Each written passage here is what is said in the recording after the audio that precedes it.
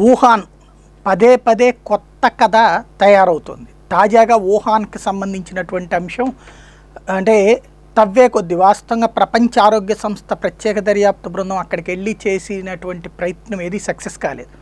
క్రమంగా దాని ఇంపాక్ట్ స్పష్టంగా కనబడతా వచ్చింది. ఇప్పుడు రోజు పోయే కొద్దీ దాని వ్యవహారాలు ఒక్కొక్కటి ఒక్కొక్కటి వెలుగులోకి తెస్తుంది స్వతంత్ర పరిశోధకులు.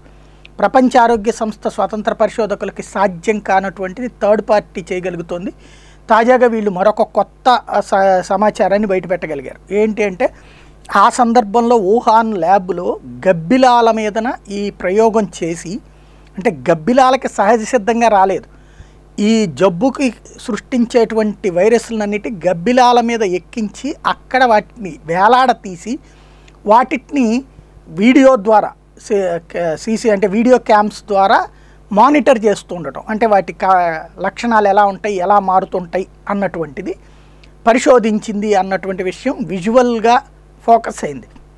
ఎట్లయితే మొన్నటిసారి గుహలో వీళ్ళు పరిశోధనలు చేసినటువంటి సందర్భాన్ని అప్పుడున్నటువంటి ఆధారం. మామూలుగా ఏంటంటే మనకి ప్రగతి పదంలో ఉన్నామని చెప్పుకోవడం కోసం కొన్ని కొన్ని ఈ పెద్ద పెద్ద మ్యాగజైన్స్లో ప్రపంచ స్థాయి మ్యాగజైన్స్కి ఈ శాస్త్రవేత్తలు అందిస్తూ ఉంటారు.